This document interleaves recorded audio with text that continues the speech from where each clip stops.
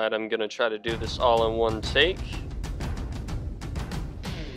You know Carter and Catherine and Noble 6. You know Frederick and Linda and 056. But do you recall the most famous Spartan of all? Jonathan 117 has a very green armor.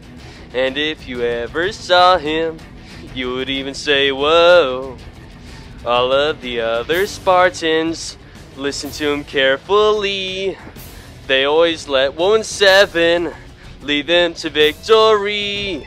Then one starry Covey fight, Johnson came to say, John, with your green so strong, you would beat Great Khan.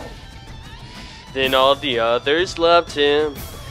They shouted out with glee. They all said 117, you'll go down in history. Jonathan 117 has a very green armor. And if you ever saw him, you would even say, Whoa. All the other Spartans listen to him carefully. They always let 117 lead them to victory. Then one starry Covey fight, Johnson came to say, John, with your green so strong, you would beat Great Khan.